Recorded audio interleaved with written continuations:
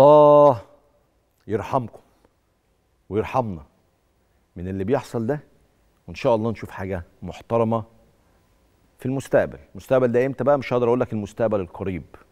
يعني الدوري اللي المفروض على الورق هيخلص 15 8 وإن كنت أشك طبيعي إنه اللي هيتبعه دوري آخر هيبقى فيه تأجيلات وهيطول أكتر فمش هنعرف نخلص زي الناس في شهر خمسة مستحيل يعني في الدوري الجديد اللي جاي السنة الجاية ده.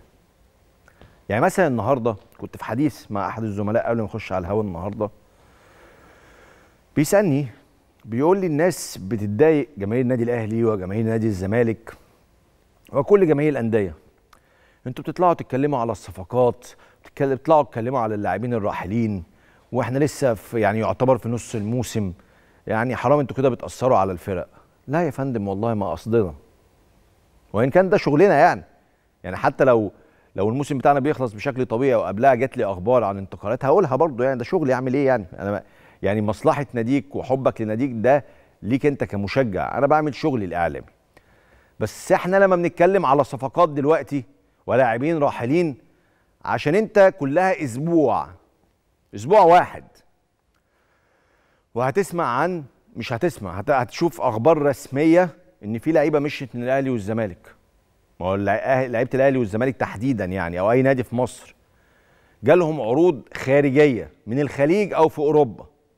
مش هيكمل معاك بالكتير لحد 30 6 بالكتير لحد 30 6 وهيمشي. مش هيكمل معاك لحد 15 8 ولا 1 9 بقى بحسب ما الدوري بتاعنا يخلص. فإحنا دلوقتي في الحدث. إحنا دلوقتي في سوق الانتقالات العالمي اللي أنت جواه. أنت مش براه. طيب لو أنت عايز تشتري لعيبة موجودة بره تجيب محترفين يعني. لازم تشتريهم دلوقتي. مش هينفع في 15 8 ولا في 1 9 ليه؟ عشان هيكونوا اتباعوا وراحوا لعبوا في فرق. فانت لازم تخلصهم دلوقتي. فانا لما اطلع أقول لك الاهلي بيتفاوض مع لعيبة وهيضمهم خلاص خلال أيام. أنا كده مش ببوظ للاهلي صفقة. لما أقول لك الزمالك في لعيب هيمشي من عنده آخر الشهر ده شهر ست أنا كده مش بضر بالفريق عشان هو هيمشي فعلا آخر شهر ست طيب اللي بيعمل فينا ده كله إيه؟ إن إحنا الناس كلها خلصت وإحنا لسه مكملين. إحنا مكملين قوي يعني.